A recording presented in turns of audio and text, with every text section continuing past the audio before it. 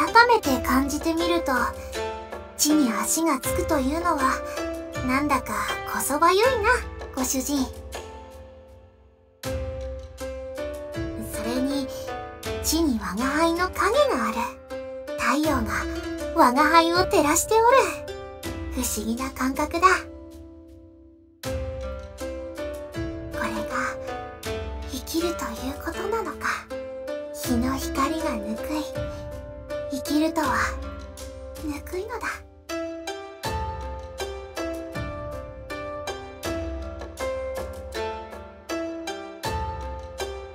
見せつけてくれますね。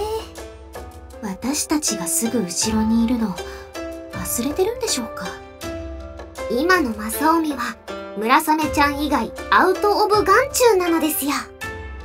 レナ先輩それもう死後ですから俺だって今に見てろよ。